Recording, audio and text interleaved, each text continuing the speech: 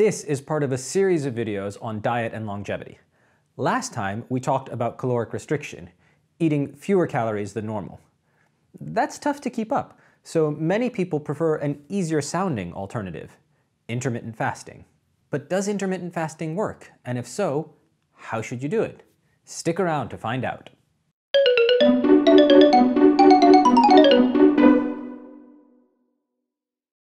Welcome to X10, your one-stop YouTube show for all things life extension. Learn the science, keep up with new research, and live longer and healthier.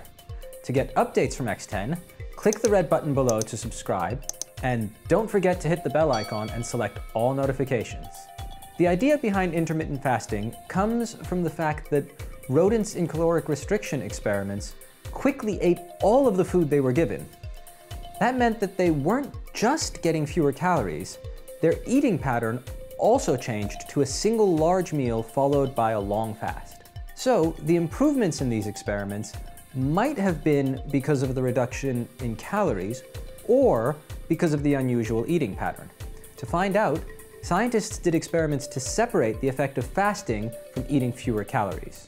For example, animals would be allowed to eat as much as they want, but only during a window of a few hours a day.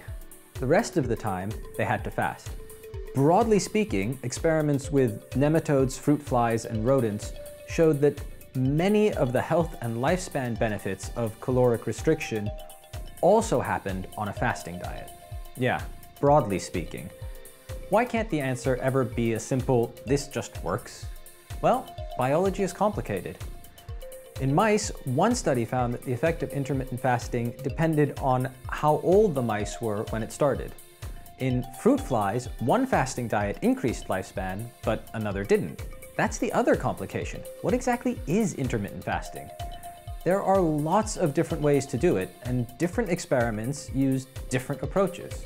For example, alternate day fasting means eating normally one day and then fasting or eating very little the next day. But there are also diets with a different number of fasting or feasting days.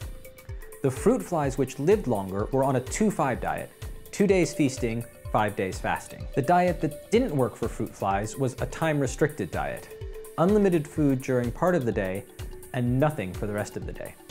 Even though they didn't live longer, another experiment showed that a similar diet improved the fly's muscle performance and lessened age-related cardiac dysfunction. None of that changes the fact that, as we've said before, fruit flies aren't humans. And even though the results in flies and mice and rats and nematodes are complex enough to be a bit unclear, the overall trend is encouraging. But the real question is, what is the effect of intermittent fasting in humans? Unfortunately, we don't have a good answer to that.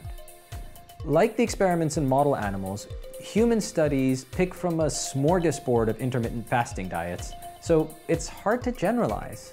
The studies are also often limited to a specific group of people.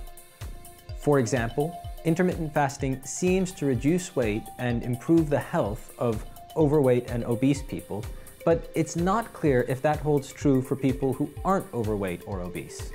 A different study found that eating one meal a day led to a reduction in fat mass, but it also an increase in blood pressure and LDL and HDL cholesterol.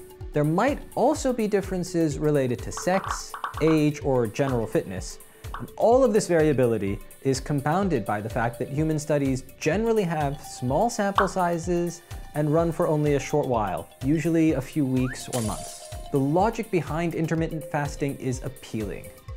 The idea is that a long period of fasting causes your body to flip a metabolic switch, shifting its energy source to stored fat instead of sugar.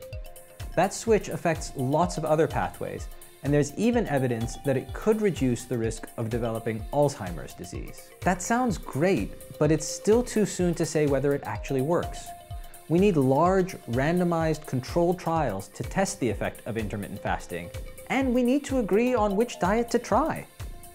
That's all for now. If you'd like to get notified about new X10 videos, subscribe and remember to click the little bell icon. And don't forget to like the video and share it if you found it useful.